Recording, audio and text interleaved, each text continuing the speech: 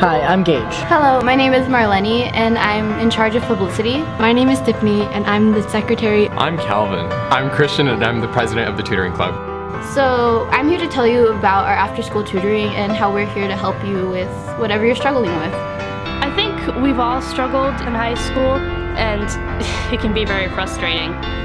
But it's even more frustrating if you're struggling alone. We can understand the frustration and challenge it must be to struggle, and that is why we're here to help. And I just wanted you guys to know that if you're ever feeling stressed about an upcoming exam or homework, please feel free to come after school because we're really here to help you. We want you to walk out those doors feeling confident and to endeavor any obstacle.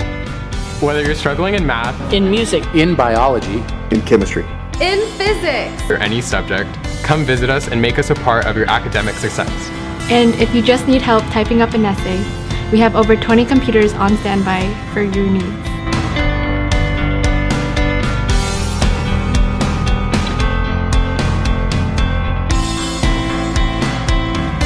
So don't be afraid. We want to help you succeed. Don't struggle alone.